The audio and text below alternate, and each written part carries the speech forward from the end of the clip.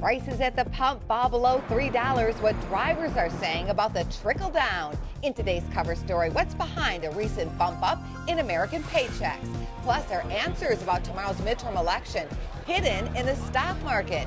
Plus, Alibaba's first earnings. Are traders setting the bar too high for Baba? First business starts now. You're watching First Business financial news, analysis, and today's investment ideas.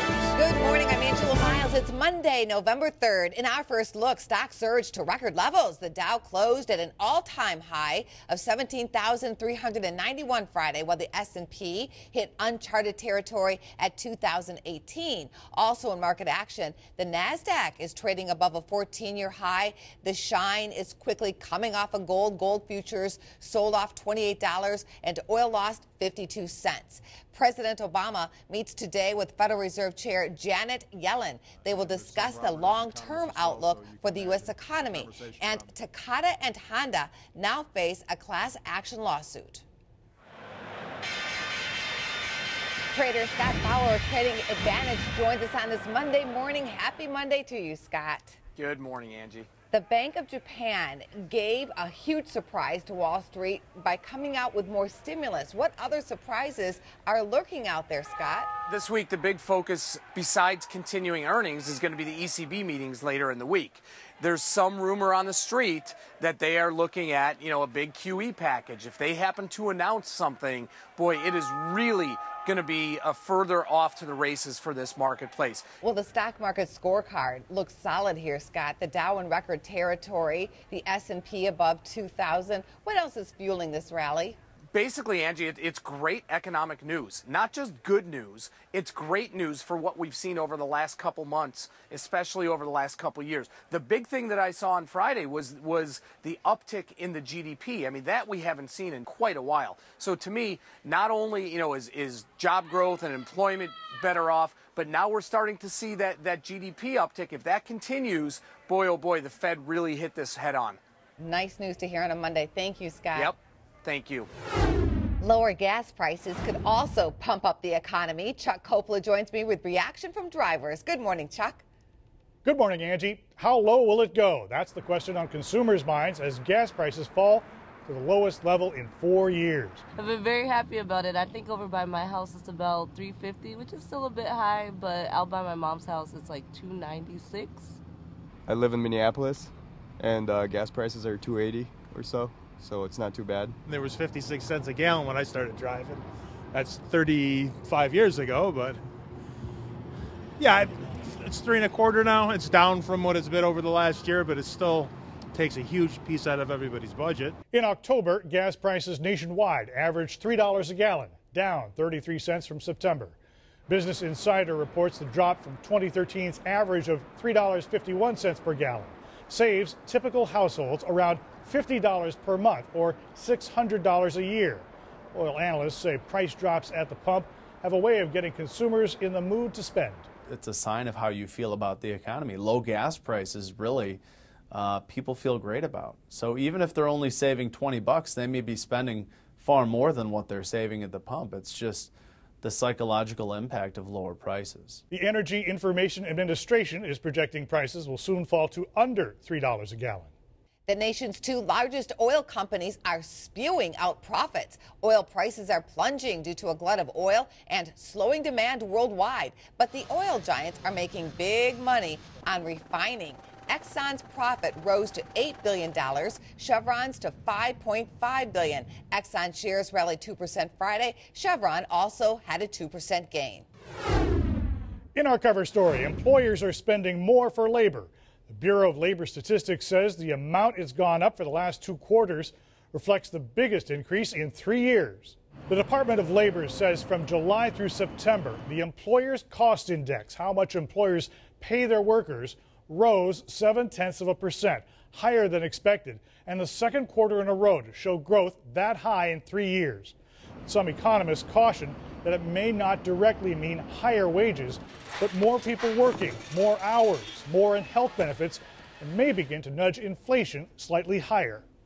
We're getting out of the anemic recovery. We're making good steps. We want a little bit of inflation in the economy. It helps borrowers It makes uh, businesses invest now. Diane Swonk, chief economist for Mesirow Financial, calls it a tipping point for wages, one that's about to come because she says employers are not necessarily cutting hours of their workers. That is welcome news for those who are working for hourly pay. Average weekly earnings increased because the number of hours worked, not just the wages earned, picked up in the third quarter. They're squeezing more hours out of the workers that they have already. That's that's my impression. Are you seeing any more in your paycheck lately? Uh, no, I mean just cost of living raises. I mean wages for the most part are pretty well static.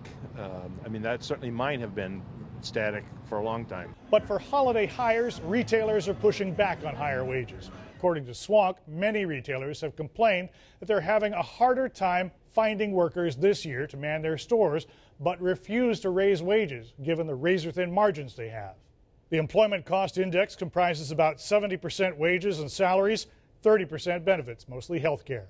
A key gauge of the economy is spiking. The Chicago ISM number came in at a strong 66.2 for the month of October. It's a 12 year high and shatters economists' expectations of a 60 point rise. Alice Andre France, Bureau Chief of Chicago M&I, joins us this morning. Alice, this was a huge bounce in the economic barometer. What will it mean for the national number that's coming out today? Our area economy is strong, and that will translate to strength in the national economy. It also means that you have to watch really funny things like the weather. And actually, Angie, here in Chicago, we went from shorts to snow. And what that does when you have a big cold snap like that, it requires consumers to buy goods you'll need new coats and gloves and things for your car. You'll need to have your furnace checked up, and that all produces business. That will fuel the economy into uh, November and December. Were there any hitches in the report? No, it was a really solid report. Purchasers are telling me that they have strong bookings in November and December. The big thing here, Angie, is we do have the elections coming up next week. I am hearing from purchasers that there's not a lot of plans to get loans and for expansion in 2015. And I think a lot of that hinges on the election results. Does the report offer any inklings about China? China has been slowing a little bit. We are hearing no impact from that. We didn't really hear any impact from the, the stock decline that we saw. Um, we're not hearing any impact on our area business from uh, the slowing in Europe. And, and that's all very good news. Thank you for that update, Alice. Thank you. For profit colleges are under fire. The Obama administration unveiled a new set of regulations to promote greater transparency. The rules require schools to disclose graduation rates and student loan debt. Critics claim students of for profit schools face challenges getting hired and overwhelming loan debt. Measure takes effect in July. One for profit company, ITT Educational Services, tells Reuters the institution supports responsible regulation. In a related note, a federal judge is allowing a civil racketeering lawsuit against Trump University to proceed. Students say they were misled into believing they would learn investment secrets from Trump. Trump says he did nothing wrong. Ready, set, hack. That's what investigators are now saying about that massive breach into JP Morgan's system. The Wall Street Journal reports the bank's corporate challenge race website was hit first by the cyber criminals and later 76 million bank customers. The bank says all known hacker entry points were shut down in August and hackers were blocked from sensitive customer account information. Mark Zuckerberg is opening up for questions. This Thursday, the Facebook CEO will hold a Q&A session via Facebook. Users may submit questions in the comments section on Facebook's Q&A with Mark event page. The format is similar to a Q&A held with Facebook employees every Friday. According to TechCrunch, questions so far have ranged from product inquiries to Zuckerberg's personal opinions. Sales of PlayStation were about the only bright spot for Sony. Sony reported a loss of $1.2 billion for the third quarter. The tech company has lost money in six of the past seven years. However, sales of its PlayStation drove revenue higher by 7% to $17.3 billion. Sony shares closed up nearly 6% Friday to $19.81. Starbucks is out with grande plans. The chain will be expanding its upscale reserve coffee shops in seven Chinese cities. In the U.S., Starbucks is in the early stages of developing a delivery service. The delivery option will be offered using a Starbucks mobile app beginning next year. Starbucks shares, however, are losing caffeine. Shares fell 2% Friday, closing at $75.56. The Stock sold off last week on the heels of earnings that revealed disappointing revenue. Here's what's brewing on the economic calendar for today. It's the ISM index for October, construction spending, auto and truck sales. On the earnings calendar, RetailMeNot, Marathon Oil, Hertz, Sprint, Lowe's, Cisco, and Herbalife. Still to come, why traders are having a tough time getting a read on Alibaba in front of earnings. Plus, why Americans should care about what's new in Obamacare and what the stock market is saying ahead of tomorrow's midterm election.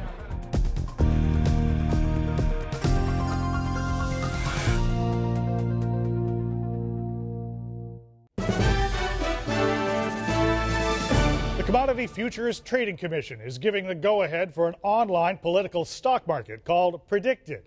It allows users to vote on events ranging from presidential nominees to the Federal Open Market Committee's Fed funds target rate.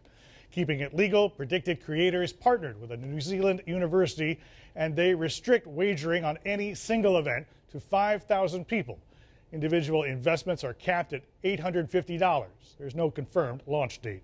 The stock market has been known to give clues about who will win the presidential election, but are there hints regarding Tuesday's midterm election winners? Jeffrey A. Hirsch, editor in chief of the Stock Traders Almanac, is with us this morning. This is always fascinating to me. Are you able to tell at all what could happen with a balance of power on Capitol Hill based on stock market action? It's got less impact in the midterm year. Uh, one thing that happens around the midterm election is there's a general bullishness that, that appears. People seem to be uh, happy and, and up, being able to go into the voting booths and make a change, and that tends to uh, carry over into the stock market. But what we've seen over the years is that the you know there's usually a loss of, of House seats by the incumbent president's party, but when we've had such a, a stellar economy and a, and a, and a a good market situation and no major wars or recessions going on in the previous two years, the president's seat loss in the House tends to be minimal, and that's been even more bullish for the stock market. So it's a little bit more economy based than market, you know, as in a presidential election year uh, uh, based. Well, stocks are in rally mode right now. So, what can mm-hmm. investors expect from the stock market based on the presidential cycle? Well, here we are in the uh, sweet spot of the four year cycle. The best three quarters, the fourth quarter of the midterm year, and the first two quarters of the pre election year. We also have an average move of about 50% from the midterm low to the pre election year high. I think that'll be a little bit softer here, but, you know, November, December, uh, January, best three consecutive months. We've got seasonals, we've got a, a, a move after the end of uh, midterm elections that, that has gains going into the last seven weeks of the year. So there's a lot of historical, cyclical, and seasonal bullish uh, uh, indications or bullish patterns converging here. And I think the economy's on, on pretty solid footing right now, and the Technicals are strong. I mean, the market internals, we're getting some juice from overseas. So, combination four year cycle, uh, seasonals, and, and fundamentals and technicals. I think we're, we're due for some more upside through the end of the year. Why should investors pay attention to the presidential cycle? It may sound like a bunch of just baloney to some people. Well, when you've got probably the most powerful person on the planet uh, coming up for election. They're going to do everything they can to keep themselves and their party in power, and that's why we have this pattern of the third year, the pre-election year, not being down for the Dow uh, since 1939. The S&P was off a, a fraction in 2011, but you know it's an indication of how the government can manipulate the economy to stay in power, and that drives the four-year cycle. I mean, this election every four years, you know, in, impacts the market just like the moon impacts the tide, and uh, it's something that, that has proven accurate, one of the more um, consistent patterns over the years, along with some of the seasonal work that we do. Jeffrey Hirsch of Stock Traders Almanac, come on back, please.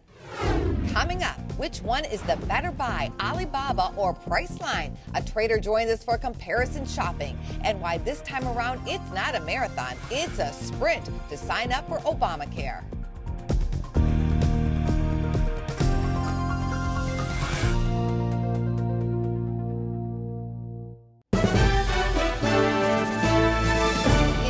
To control Ebola, Chimerix plans a $105 million stock offering. The money raised would be used to finance Ebola drug trials. The FDA has cleared the way for Chimerix to begin human tests. The company plans to conduct studies in the U.S., Europe, and possibly West Africa. Shares edged up nearly 4% Friday to $31.04. Bill Moller is here with a big dose of information on Obamacare. Now, you remember all those problems with year one of the Affordable Care Act. There was all that confusion, of course, the website glitches. Well, here we are. Round two of open enrollment begins in stages on November 15th. And you know, by some measures, this could be a more challenging year than it was last year. Let's talk with Kaya Bromley. She's back. She's the woman who wrote the book Employer's Guide to Obamacare and runs the site Your Obamacare Advisors.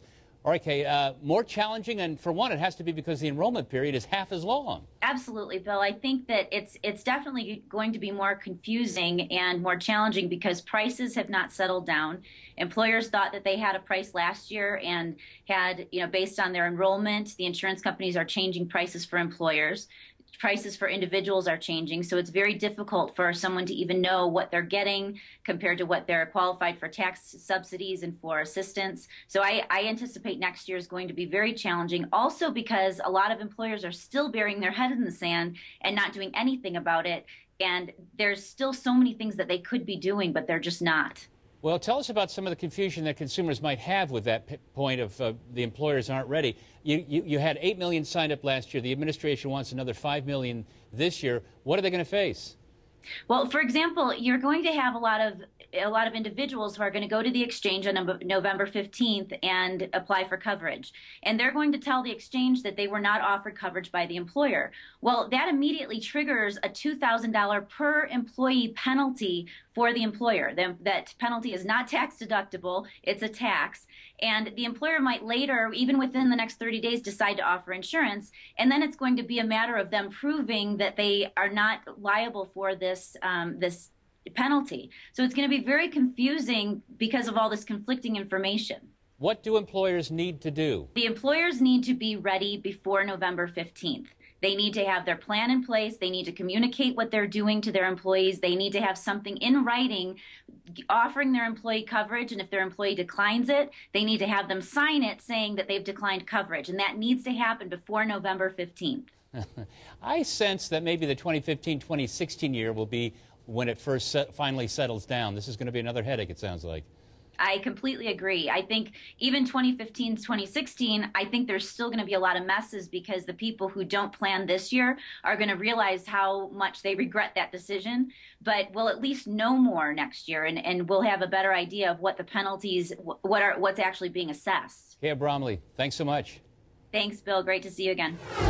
Still ahead, Alibaba is about to reveal its first earnings report. A trader weighs his options on profiting on the news. Chart Talk is next.